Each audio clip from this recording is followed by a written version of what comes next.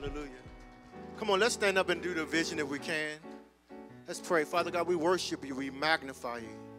We thank you for everything that you've done for us. We thank you for this day. We thank you, Lord Jesus, for the, the praise and the worship. We thank you for the, the presence that's already in this room. We thank you, Lord Jesus, right now for all that you're doing in our life, Father God. Now we settle ourselves, Father God, to receive the word of God. We settle ourselves to receive from heaven. We settle ourselves to receive from a live, loving, living God. We thank you right now, Father God. You never leave us nor forsake us, Father God. And there is a word for us for this time and for this season, Father God. And we receive it right now in the name of Jesus, Father God. Now, Father God, we thank you, Lord. Thank you for all that you're doing in our life. Thank you, Lord Jesus, for never leaving us nor forsake us. In Jesus' name we pray. Amen. Hallelujah. Come on, let's do the vision if we can. The Spirit, Lord God, is upon us, and He has anointed us to preach the gospel and to raise up a body of believers to be the church of our Lord Jesus Christ, a church without walls. Our goals are to teach the Word of God so that anytime you can see the Word, hear the Word, and understand the Word of God, you can be converted into the Word that you see, hear, and understand. And once we are converted, we can now strengthen our brother. And as witnesses, declare with boldness, as Jesus is, so are we in this world. Come on, give God a praise for that. Hallelujah. Repeat after me. Receive, change, give. Oh, y'all gotta say a little louder that. You gotta say it over those masks. Receive, change, give. Receive, change, give. Today we're going to receive the word of God. We're going to be changed into the word that we see, hear, and understand. And once we are changed, or once we are converted, we can now give that word out to our friends, our family, and everyone we come in contact with. If you believe that in service, if you believe that online, come on, give God a praise right where you are. Come on, give God a praise right where you are. Hallelujah. Hallelujah. Glory to God. Wasn't that such a good video? That you would keep your heart passion and your heart posture towards God. You know, this morning I feel such a press in the sanctuary. I think our, our praise got to be louder than our situations. Can we give God a praise that's louder than anything that's going on on the inside of you? Come on, can you lift your hands in spite of? Hallelujah. Hallelujah. You know, that's what believers do. Hallelujah.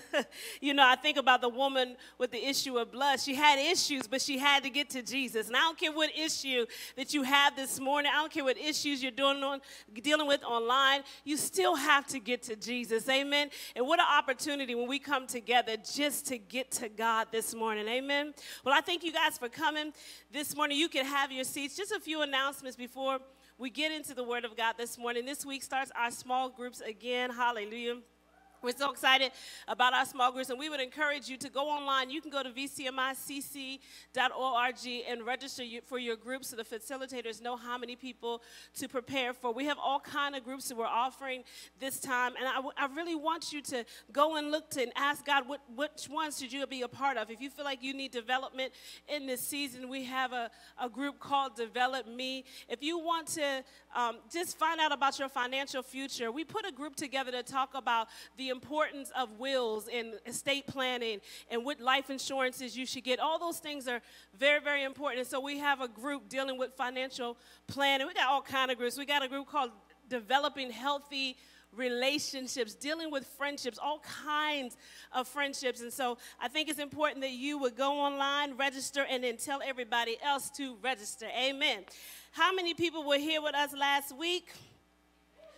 Hallelujah. God is good. It's such a good message. I, I, I went back and went over it myself, and, you know, and then Thursday night was really, really good. Just talking about how important it is in the season that we are in to be hearing from God and to just have our heart postured towards God. Last week we talked about this church, the Ephesus church, and we talked about how John saw the vision of this church in the last days. And it was a very mature church, a church that understood doctrine, a church that understood the things of God, and understood even, even a discerning church. And he said, You've done your works very well, but your hearts are far from me. Your heart has grown cold. You know, we can't be in a place right now where our heart's growing cold. And I know that it's such a temptation to go away from the things of God because of all the distractions that are happening right now, all the voices that are in the earth. And I promise you, you ought to just turn down the frequency and put your ear to the wall and just hear from God. I think most of us are in a position in this season where we need to hear from God. Can I get an amen? Need some direction. You know, God, what am I doing? What should I be doing?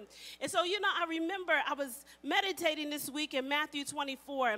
When the pandemic started, the Lord really pressed on my heart to do a study on the end days. And in Matthew chapter 24, verse 3, the disciples asked Jesus and said, How will we know the end of your coming? How do we know when this thing is about to wrap up? Like, how do we know when you'll come again? And Jesus said something that is so good. He said, Listen, there will be much more evil in the earth, and because of that evil, believers, somebody say believers.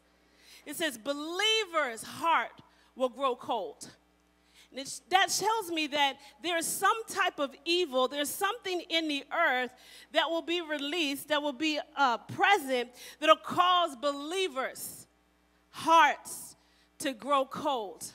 And so, what we're fighting right now as men and women of God is to fight that desire just to recline, that desire just to spiritually decline and get into a spiritual condition where you don't know where God is and nor do you desire Him anymore. So you could be, be in a loveless relationship. I talked about that last week. You can even be in a marriage, in a relationship, and you could be doing all the works, you know? You could be going to work, you could be coming home at night, you know, you could be washing the dishes, you could be keeping a great house house, you can be taking care of the kids, but living like roommates. Like there's no intimacy, there's no communication, there's no investment of time. How many of you know healthy things grow? But in order for something to be healthy, you've got to invest time in it. You've got to spend time. There's got to be some intimacy. And if you don't do that, then it'll stop growing. And that can happen in our relationships, and that certainly can happen in our relationship with God. As a matter of fact, our relationship with God is so key, it affects our relationships with one another. I will tell you, when you're on a decline with your relationships with God, it will show up in your most intimate relationships. You wonder why you can't have meaningful and did you say things like I'm not affectionate or I don't feel like it or you know I'm just not that I'm just not that type of person. But I promise if you go deeper in the things of God, you will be that type of person when you just lean in a little bit with God, lean in a little bit more in your prayer life and in communication with God, it will show up in your relationships. So this morning, I will encourage you if you're having a stagnicity, or if you're dealing with spiritual decline, or if you're dealing with a decline in relationship, do a heart check. See what's going on in your relationship with God. Amen. And so many times I realize also that the scripture says, I'm going, you all who are in the back, I'm going to skip all the way down to Proverbs chapter 13, verse 12. I want to read this first. I'm going to read this in God's Words translation. It says, Delayed hope makes one's heart, one sick at heart. Let me read that again. It says, Delayed hope makes one sick at heart. He says, When your hope is delayed, or when your hope is deferred, or when you know what God promised you has not showed up, when you've been standing a long time and things aren't looking the way you thought, or you were right on the verge of a breakthrough and then something happened, he said it has the ability to make your heart sick. It said, but a, but a fulfilled longing is a tree of life. And I want to speak just for two minutes to those whose heart may be sick because I realize when you set out to believe God for something and it doesn't come to pass and you know it's God and you're waiting, I know there's a, a temptation to decline. I know there's a temptation to just be like, well, you know, it wasn't that serious. Or did I really hear God? And then your enthusiasm and your zeal has left. You know, there's a word that was released this week that literally I shared it with you all on uh, Facebook because it was something that uh, God was speaking to me about. I just thought that this person put it in the most wonderful words. And I want to read a little bit of it this morning. It says, Hear the Lord say, it says, I haven't led you this way to tease you. I didn't move you from the familiar path to the pioneer road to disappoint you or give you false hope. I didn't give you dream after dream and sign after sign just to lead you to a dead end and a closed door. I didn't start this adventure of faith with no intention to finish it. I didn't stir up a radical fire in you just to see it slowly flicker out. And I didn't give you a love for nations just to see it dashed upon the rocks. I didn't put a holy discontentment upon your life for the norm just so you would never get to see and experience the extraordinary. I didn't put a mantle of revival upon you just to see it unused and dormant. You didn't hear wrong. Come on, somebody say, I didn't hear wrong. Because sometimes you might question, did I really hear God? Just because you don't see what he said, he says you did not hear wrong, you did not see wrong, nor did you fail the test. Because many people said, well, maybe I failed the test. He said, you did not hear wrong. Yes, that was me. You did not see wrong. Sometimes you just got to close your eyes and see what God said and rehearse the promises over and over and over again. I'm telling you, while this prophecy was the same week it came out, I kept having the same dreams over and over and over again, the same dream over and over again. And someone called me and said, Pastor P, I just want to let you know I had this dream. It was really weird. And she told me her dream. It was the same dream I had. And I said, I think God is trying to let us know it ain't over. What I told you, it will come to pass. Though it tarry, wait for it. Wait for it. She said, I just feel like we ought to just declare some things. And I'm telling you, when your heart is growing sick, you ought to stand up and rec- declare some things. You ought to say out of your mouth what God has already said. That's living from the finished work. And we just begin to declare some things over the church, over the body of Christ, and just begin to declare revival because He showed you some things, y'all. He said some things to you. You got a vision and purpose in your heart, and this world system is coming to make you sleep. Sleep on the promises of God, sleep on God. It's coming to wear you out, but greater is He that is on the inside of you than that devil that is in the world. You, I'm telling you, that's what I'm saying. Your praise ought to be louder than your problems.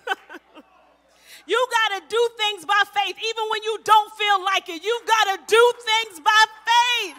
Even when it looks crazy, even when nobody else is doing it, everybody's complaining, but I will not complain. Lord, let the words of my mouth and the meditation of my heart be acceptable and pleasing in your sight. Oh God, I will not back up on your promises. I know you said it. I know I heard it.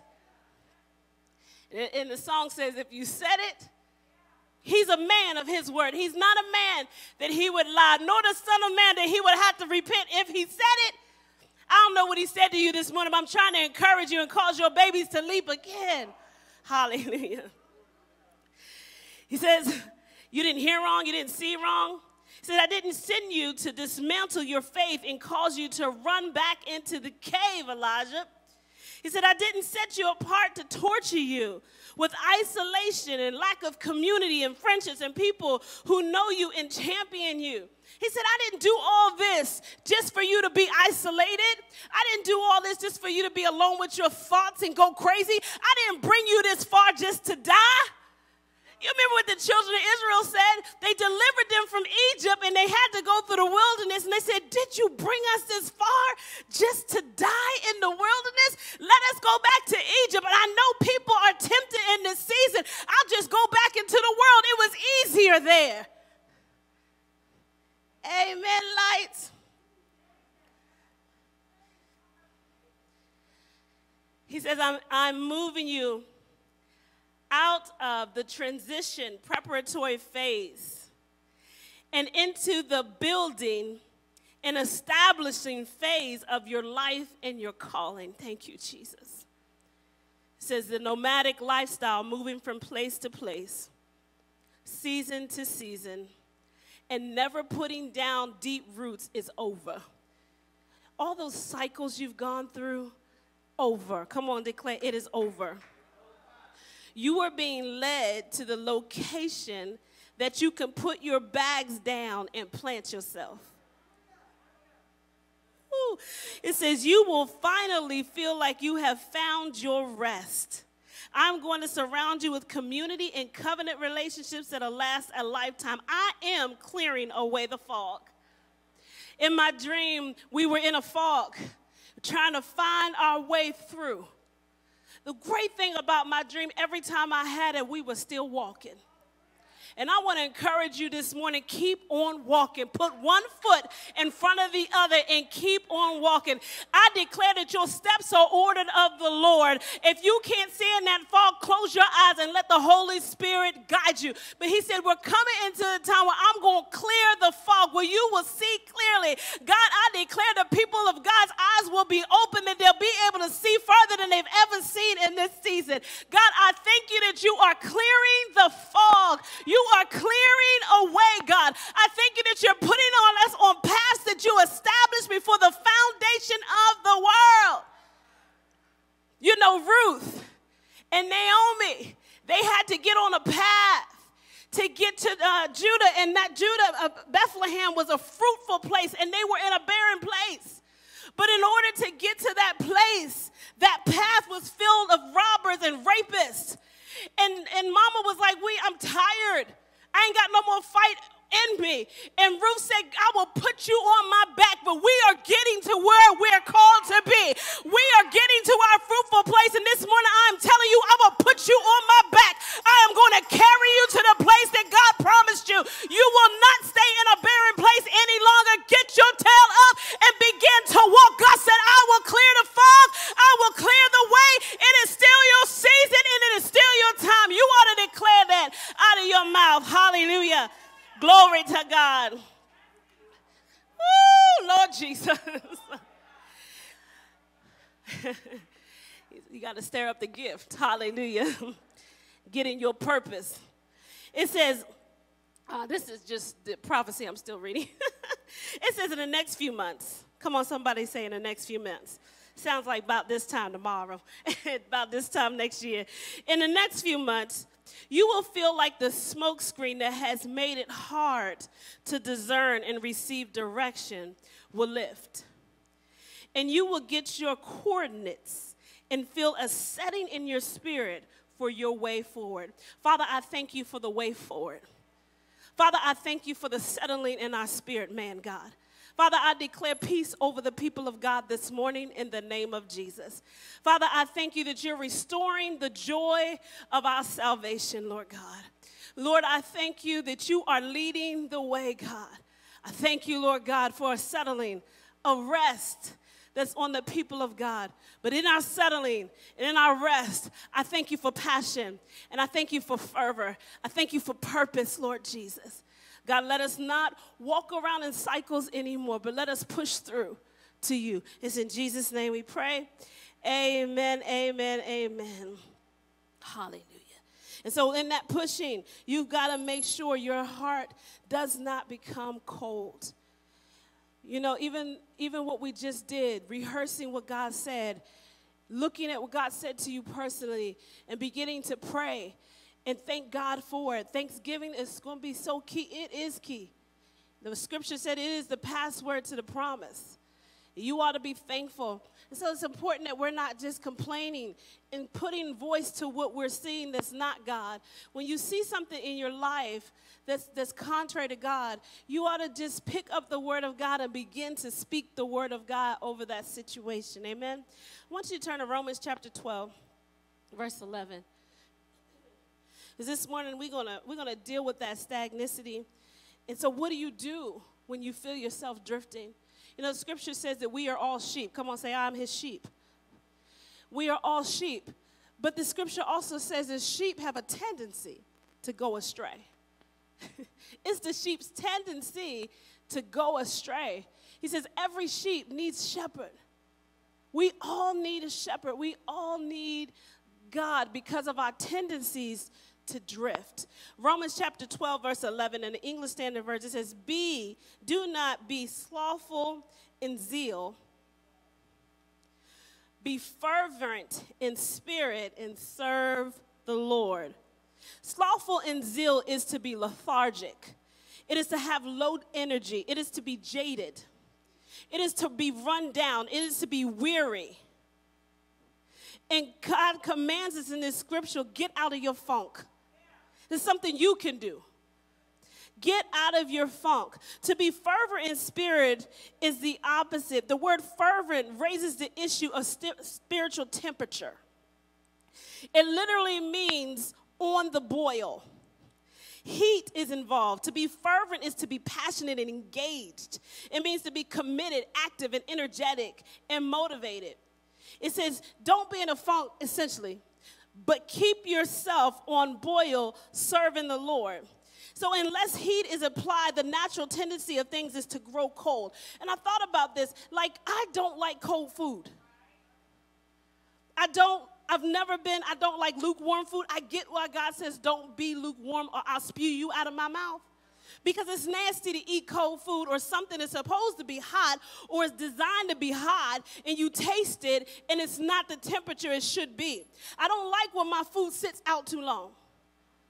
Like I gotta eat it. Like if I pick something up from the restaurant, I'm eating it in the car, especially if it's fries, because they're designed to be hot. There's only a couple food you can eat cold that was, that was originally hot. Like fried chicken, you might can eat that cold if it's fried right, if it's seasoned right. But most things you need hot. Like I can't wait to get to the house. I gotta eat it now. My husband's always like, Portia, slow down. And I'm blowing it in my mouth. You know how you do in your mouth? Y'all know how you do that. It's better that way.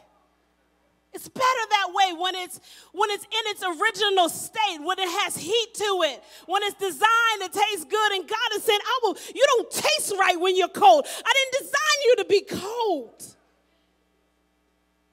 You gotta add heat to it. You know, it's like it's like water. Water was not. I mean, God been speaking to me, y'all. Water was not. I'm looking at water that's sitting still from a leak. Um, out it, well from the rain or whatever outside, and I'm like, why is that water there?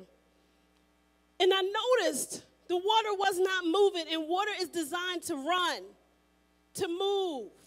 You know, like even the water on the inside of us, living waters, is designed to move. But I noticed when the water sits still, it attracts rodents,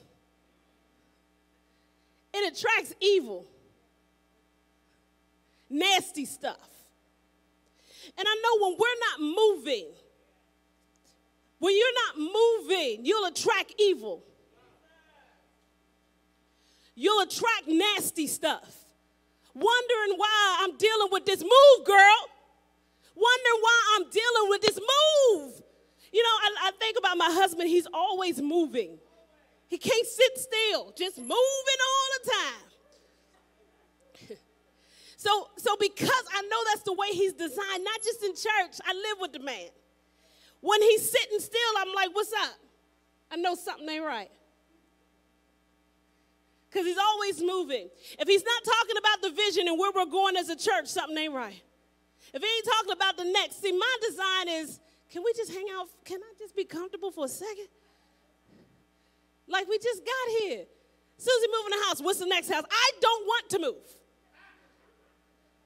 you know, he just, he's always been like that. Always been like that. Moving, doing, hearing what God is saying, stepping out, leaping into what God is saying. It keeps your life in an adventure. But then when you're cold, you don't move. You sit. You sit with thoughts that aren't even yours. You are now able, Satan is able to access you where he could, when you're moving, he can't access you. But when you're sitting, he knows your location. I like it. I just, I just, there's so many examples of that. That's why God likes to walk in the cool of the day. Walk with me. Let's move. Yeah. So I want to talk about how you apply this heat to your life. When you feel like you're growing cold, one thing I will tell you this morning is you've got to take responsibility. You got to locate yourself and take responsibility. We're always looking for somebody else to tell us what to do. We're always looking for somebody else to recognize us and push us and tell us something. You want to take responsibility for your own spiritual disciplines. You want to take responsibility yourself. What if nobody's there? That's what happened in this pandemic. Nobody was there. There was very little accountability. Who knows if you're online or not? Who knows what you're doing? You know, that's what God, one of the reasons why God created the church was for accountability. I know it's a cuss word, but it's in his design. But what happens when nobody's there? You've got to be have spiritual disciplines on your own.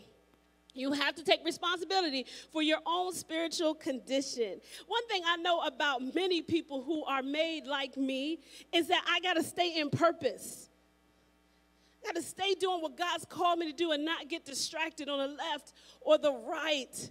I said last week, there is a way that seemeth right unto men, and men can be telling you, go this way and do this, but you've got to acknowledge God in everything and stay on His path. God is so good that even when you get off the path, He'll do whatever He can do to keep knocking you back on. It just takes longer. Just takes longer. Something you could accomplish quick because you got off the path. It just takes longer. You'll get there, but it just takes longer. So you're not helpless. Why are you not helpless? Because you are in charge of your own heart. Come on, help me preach. Say, I am in charge of my own heart. You online, you're in charge of your own heart. Psalms chapter 119, you know, the greatest, the, the longest chapter in the Bible. Psalms chapter 119, verse 112, it says, I turn my heart to do your decrees. Do you understand? He says, I turned my heart. I turned my heart to do your decrees forever to the end. In the easy standard version, it says, I incline my heart to perform your statutes forever to the end. He says, I want this to last. I want lasting change in my life. And so I incline my heart to perform your statutes. In the easy reading version, it says, More than anything, I want to obey your laws always until the end of my life. So if you've got to, he said, I'm going to incline my heart. If you have to incline your heart, if you have to incline something, that means it is naturally not in that position. That means that's a work I have to do the, the writer says, I want to incline my heart towards your statutes. It is setting your heart in the direction of something. Setting is your work, something you have to do.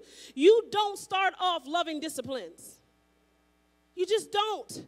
But you do it till you love it. I'm going to say it again. You do it until you love it. I'm telling you how to get your heart warm again. You do it till you love it. A lot of times in marriage counseling, I'll ask the man or woman, How often do you say you love them? I don't know. Tell them every day as much as you can. Do it till you can't, till you love it. Do it till you feel it. I don't feel it. Well, I'm telling you, if you line up with heaven, and you begin to agree with heaven and you change your thinking, you will feel it. When I feel like I fell out of love, will fall back in love. Fall back in love. You don't wake up every day all with goosebumps and, and stuff jumping in your belly. You don't wake up every day just, never mind. You don't wake up every day feeling like it. But there's certain disciplines you have to have. It's like I don't like planks. I think they're from the devil, but I know they're not. You know, I don't like exercise. I don't like running. You know, when when when when the doctor doing all the stuff on you and looking at your heart and stuff, especially looking at your heart, he says, you know, I want you to do this because I don't want you to be running one day and just fall out. And I always laugh because I'm like, that'll never happen. because I won't ever be running. I don't like running. So that ain't gonna happen. I ain't gotta worry about that. But there's certain disciplines that you have to have. But what I have noticed about certain, especially physical disciplines, that when you start doing it, it gets easier, and then you can't deal do without it. Like there's something that's released. Like when you when you're exercising, there's certain hormones and things that are released that make you feel better and make the stress go. And so I gotta do it every day. Well, same thing with God. When you get your spirit, I gotta get to his presence. I gotta, like, I might start off bored and not really knowing what I'm doing, but listen, when you keep doing it, you will love it. You will love it. And that's how you get your heart from becoming cold. If you got to discipline yourself to turn off everything else, that's what fasting is about just to turn off everything else. And I'm just going to incline my heart, put my ear to the ground. I'm, I'm going to listen to certain things. I'm going to get music going to set an atmosphere around me because I don't like the atmosphere around me right now. I'm going to rehearse what he said. The scripture said in big block letters, I'm going to put it up. Put it up on my mirror, put it up in the bathroom, put it up in the room. I'm gonna put it up so every time I read it, I'm gonna rehearse the promises of God. This is who I am. Because many times when your hearts grow cold, you start living a version of yourself God never created you to live. It's almost like Jacob. You remember when he wrestled with God in Genesis chapter two, 32? You know, you, that's so phenomenal.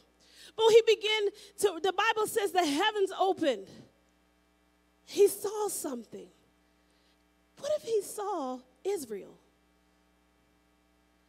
Remember, God changed his name.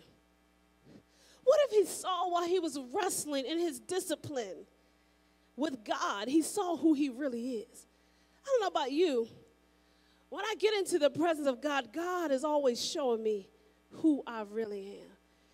And I realize that I'm living beneath my means. I start to realize that these lies that we live in out, that's what God says, bring me your truth. Go ahead and bring me these truths that you think are true that is not the truth. Like I gotta be like this because my daddy left and because I was abused as a child and you know I can't love because my mother never hugged me and you know all these things that may have happened. But when Jesus came in your life, he redeemed your life from destruction. He bought you back. He gave you a new history. Your history is now his story I know that might be a little too deep for y'all. and so he says, incline. I've got to incline my heart. And so you've got to act upon it in order to, for it to move in a different direction. And so you don't already cl- incline something that's already upright. If you don't incline, you'll begin to recline like a recliner. You know, you get in a recliner and at first you're just sitting. But then it has different you know, ways that you can go back and back until you're, it's designed for you to go to sleep. Reclining is designed for you to sleep. And there's so many times in the scriptures when talking about the last days, it's telling the believer to wake up. Wake up. Jeremiah chapter 29, verse 13 in the Message Bible. It says, When you come looking for me, you'll find me. Yes, when you get serious about finding me and you want it more than anything else, I'll make sure you won't be disappointed. That is God's decree. He said, I'll make sure. But listen, he said, You got to come looking for me. And not just the notes. We know God is there. That means you just got to incline towards Him. You got to get your passion back. You got to pick up your bed and walk. That's the first thing he told the man by the pool of Bethesda. He said, Pick up your bed and walk. I love that story because it's almost like he said he was like that for 39 years. 39 years. What's wrong with you? Won't no man put me in the pool? You mean in 39 years? you couldn't come up with some type of strategy to get in that pool. You mean you watch everybody else go deeper? You watch everybody else get breakthrough? You watch everybody else get healed, and all you could do is come up with an excuse as to why you can't get healed? Pick up your bed, pick up that comforter, that thing that you're, pick that comforter up. Walk. Want you to see your responsibility in this this morning. Pick up your bed. He didn't lay hands on him. He didn't pick yourself up and walk. 39 years?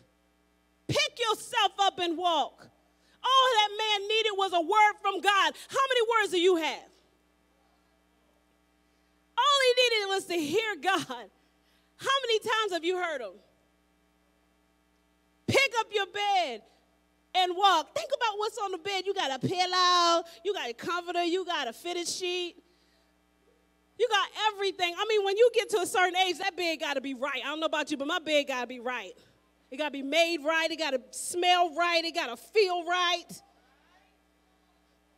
It's its job to lull me to sleep. my family's laughing at me because they know it's the truth. Everything got to be right with that bed. Got to have the right pillow. Don't take my pillow. Everybody got their own pillows in the house because I know what pillow makes my neck sit just right to go to sleep. Here, God is saying, get rid of it all. I don't want you comfortable. And so sometimes to, to be whole or to walk in what God has for you means getting rid of your comfort. And it takes courage to be made whole. It takes courage to not be the one always needing something. It takes courage to be the Mary, sit at the feet of Jesus.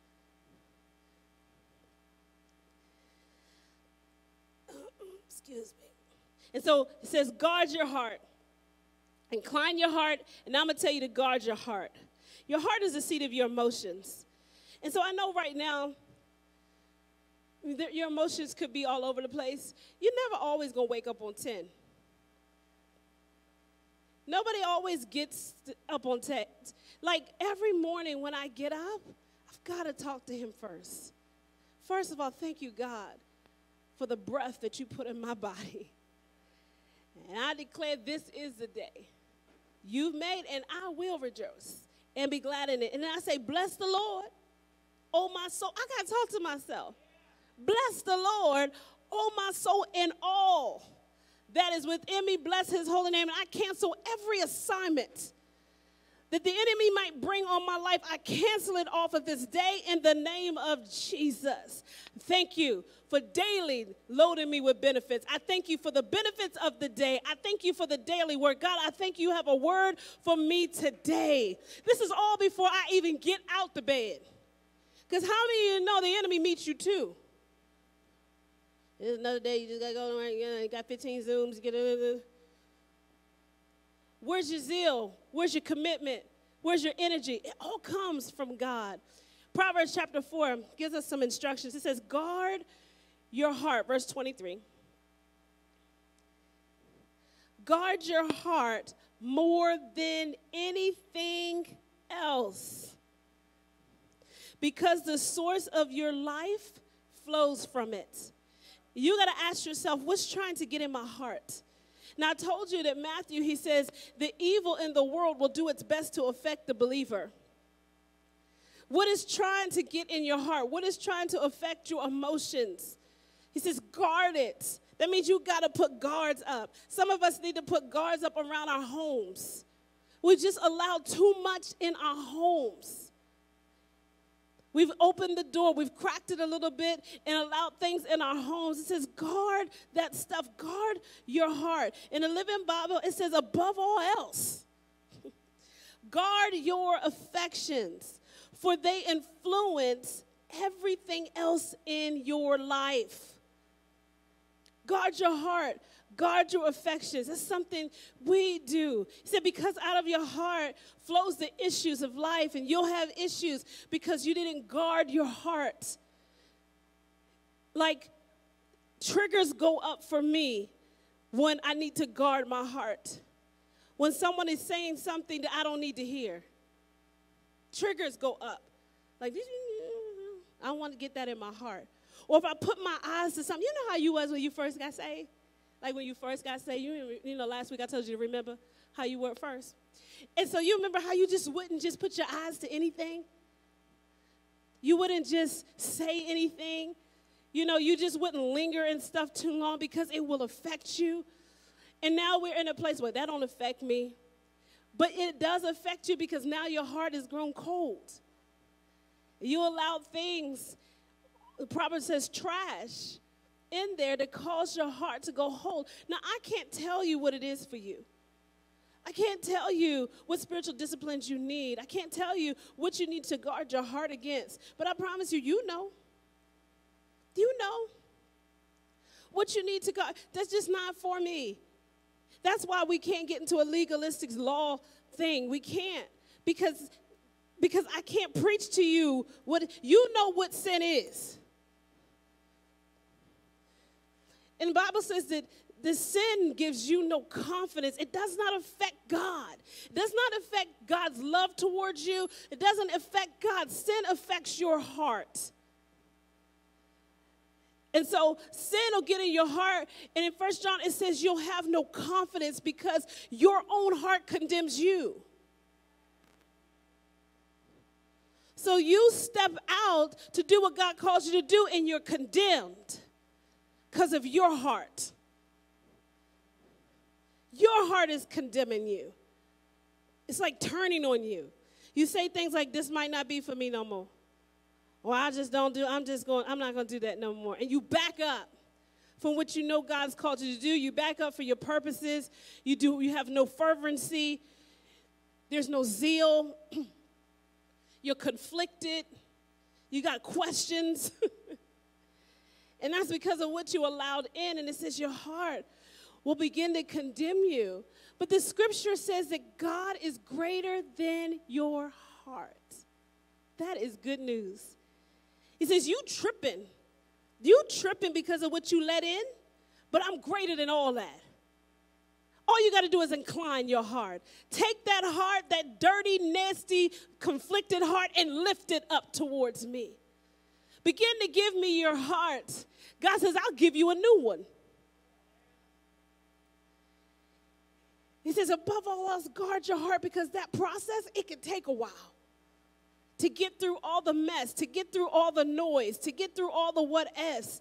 He said, incline your heart and guard your heart for the influences, everything else in your life. And so here's some ways to move the thermostat of your heart. Number one, don't make God an option. I know that sounds so basic, but you don't know how many people making God an option in their heart. You've got to stay desperate. Desperate for God, desperate for Him. Like I said last week, like a child, just, God, I need you. I need you, God. Please. Don't make Him an option. God is not an option in my life. Come on, say, God is not an option. He's just not something I check off. It's not an option. I, I, have worship things on my phone, and I was listening to some worship last night. Uh, William McDowell, love you, brother. I'm telling you that that man will worship all night. And he has this song, I Don't Want to Leave. And that song was born out of a place of the Lord told him to hold these worship concerts where he just would tarry. You know, we don't really do that anymore because we're programmed. Um, and there's reasons for programs, honestly, there is. But he would hold these sessions for the worshipers. And he said the Lord told him, just tarry till I come. And he said he thought he knew what that meant. Because, you know, we do it in church. We have our moments. We may go over about 30 minutes in worship, and that's nice. And he said that would happen. And he said, no, it would be hours. He said people would be leaving. Just, and he said the Lord would say, just wait. Just wait. Just wait. And he said he noticed the ones that stayed, the ones that needed Jesus. He said the ones that stayed were the people in the wheelchairs.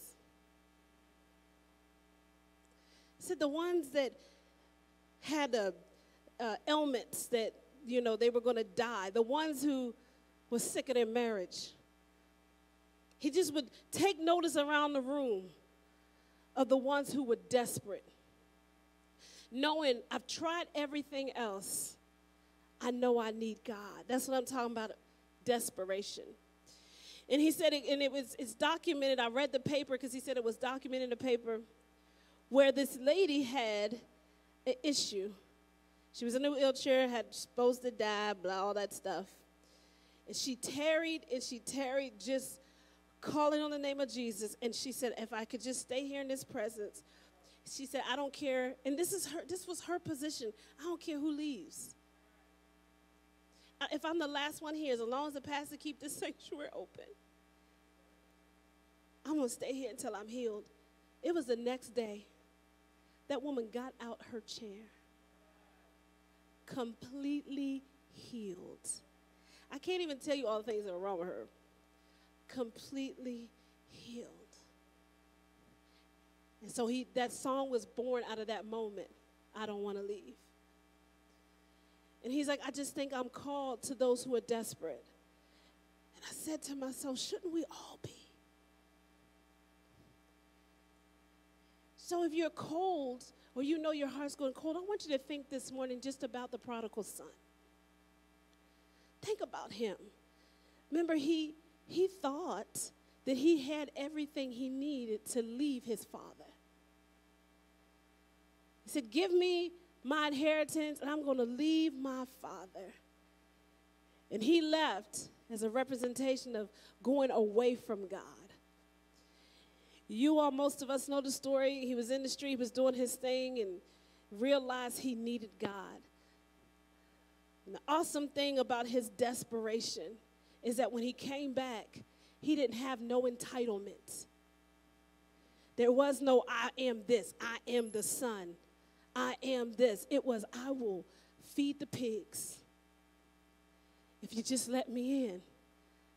I will eat with the pigs. That's good enough. I'll stand at the door and greet the people. I'll just let me in. I just, I just want to be around. I want to be back in my father's house. I want to be back in my father's presence. I have no entitlement. Nothing. I'm desperate for you. My heart's grown cold and I just want to feel it beat again. And the great thing about that story is the father was always on the road waiting. I told you last week, he never moves. We moved. He crowned his son. No matter where you are today, he's crowning you. He says, you're eating pig slop because of your heart. I didn't call you to eat the slop. I called you to reign with kings. And this morning, you may be one who is, maybe you haven't even found your way back. Maybe you have allowed the pandemic or whatever's going on in your life cause your heart to get cold you're in a loveless relationship, whether that be with God, whether it be in your marriage, whatever, you're in a loveless relationship. You need to incline your heart. You need to turn your affections towards God. You realize you need Him, you need a Savior. We all do. I want to pray for you this morning. Really, it's called rededication. Just repenting, turning from some things, getting back to the first things said last week, let's get back to the simplicity, the single hearted devotion to God. And so, again, if that's you this morning, you need to add some heat to that coldness. If you need that water to move, I want you to just bow your head, even if you're in your home. Just want you to bow your head. And I just want you to take a moment in your own heart. You can have a conversation with God right here in your own heart. He knows you better than you know yourself. You know, David said, Create in me a clean heart, O God. Renew a right spirit within me. Cast me not away from your presence, O God. God, I need you. I need you. I'm desperate for you, Jesus. I incline my heart and attend to your saying get back in position with you, God. I thank you for the fulfillment of every promise on my life. I repent, Lord God, of allowing my heart to even be sick, God. God, I'm praying that you restore the joy of their salvation. I thank you, Lord God, for restoration. God, I thank you for times of refreshing that only come from your presence. Thank you for your presence in everybody's life this morning, those who are online and those who are in the sanctuary. Thank you for sweet encounters with you. God, I thank you, each and every one of us get back to our sweet spot. God, whether that is a better prayer life, whether that's a better devotion life, just getting in your word again and receiving revelation knowledge from your word. Cause your word to be life to those that have put it down, Lord God. God, even the marriages that have grown, grown loveless, thank you for restoration of love in the marriages. Thank you for renewing relationships, Lord Jesus. God, I thank you for direction, even in this moment we thank you for speaking and showing, for direction for those who don't know, for those who have stopped, for those who have turned back, for those who have quit because it got too hard. I thank you for strength. I thank you for direction for them. I thank you you're clearing a way and clearing a path.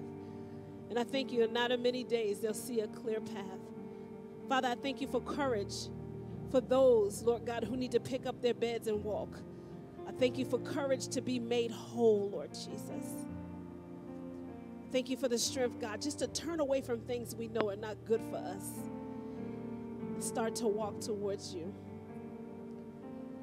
For this I give you praise, hallelujah, with much thanksgiving. It's in Jesus' name I pray.